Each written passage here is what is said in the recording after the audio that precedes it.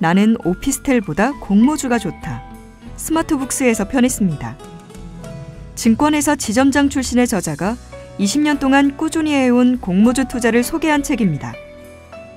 공모주 옥석 가리기와 리스크 관리법 등 저자의 모든 노하우를 담았습니다.